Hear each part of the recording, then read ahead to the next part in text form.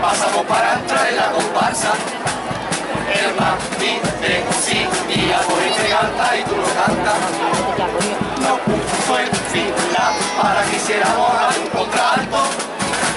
Y nos fuimos allí corriendo cuando el barito cantó faltando.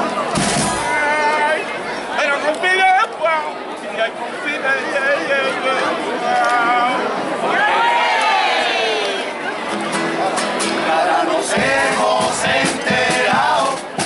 Anda diciendo mucha gente. Eso chuma que se cree con esa Josefinilla vaya los notaban de sobrado dicen que somos los elegidos.